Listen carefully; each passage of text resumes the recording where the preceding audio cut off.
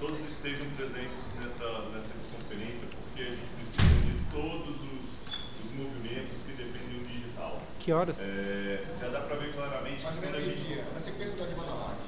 é, dá para ver claramente que quando os movimentos eles vão separados na, nas lutas, ele vai fragmentar de tal forma que não tem pressão suficiente para poder combater é, o que está ocorrendo hoje.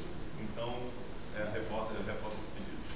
Voltando à questão do CGI, muito na fala do, do Serginho, é, propostas né, para o CGI. Ontem eu conversei com o Juliano, né, do CGI, é, vai ter aí alguns estudos que vão ser lançados, que é o TIC Banda Larga e o TIC Terceiro Setor. No TIC Banda Larga, eu sugiro tá, que o CGI encampe é, um estudo sobre neutralidade de rede. Isso, alguns aqui sabem, a gente tentou fazer uma provocação no Supercard, né, que é um novo órgão agora que está atuando nas questões jurídicas, econômicas, concorrenciais e tal, mas isso não evoluiu da forma é, que, eu, que eu imaginava e ficou adormecido. Então, como tem esse estudo do TIC banda larga, está aqui a sugestão para poder fazer um estudo. Até porque o CGI no CIMET, no cimet.nic.br, o- já soube que eles estão fazendo lá um- uma modificação no sistema para poder identificar traffic shape. Né? Eles vão ter algum dispositivo lá de traffic shape. Já passou dois minutos.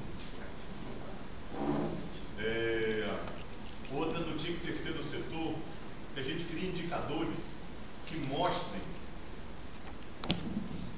qual é a internet que a sociedade, que a sociedade quer. Acho que é legal, é, logicamente eu não vou ter aqui sugestões mais es- mas que sejam acrescentadas nesse estudo uma forma de identificar é, o que, que a pessoa espera da internet. Se ela é uma internet de mercado, como é um negócio, né? Essa é a internet que o pessoal quer de negócio?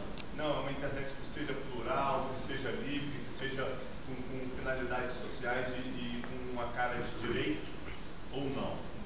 E por último, nessa, nessa questão de ampliar a participação social, nós temos alguns projetos de lei que estão rolando na Câmara para participação social, participação, efetiva social pela internet, com validação né, de votos e tudo mais pela internet.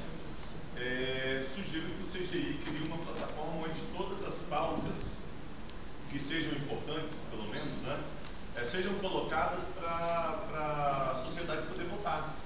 Entendeu? Inclusive essa da transmissão. Que aí a gente vai ter uma legitimidade, uma certa legitimidade na hora de. Vocês vão ter lá uma certa legitimidade na hora de defender algumas causas.